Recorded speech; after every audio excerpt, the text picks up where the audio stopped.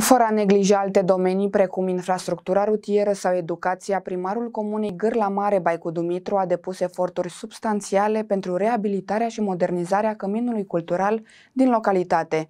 Lucrările se află în plină desfășurare astfel încât, la finalul acestora, se va crea un cadru adecvat în care cetățenii vor putea desfășura activități socioculturale.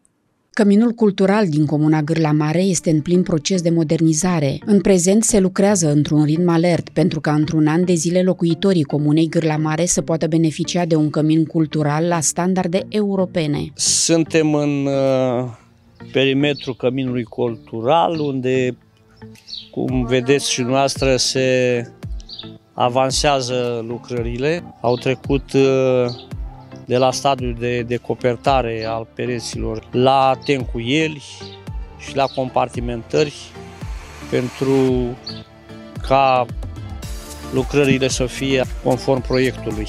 Mai mult de atât, primarul comunei a acordat un interes deosebit și pentru persoanele cu dizabilități. Băile din interiorul căminului cultural vor fi special amenajate și pentru această categorie. Toată clădirea va dispune de un mobilier nou și modern, astfel încât locuitorii de aici să-și poată desfășura așa cum se cuvine activitățile socioculturale și artistice.